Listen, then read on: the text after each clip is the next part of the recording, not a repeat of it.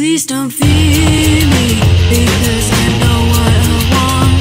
Please deliver me that song out of your soul that makes you freeze time, staring in at yourself. It's time to step outside onto the path you want.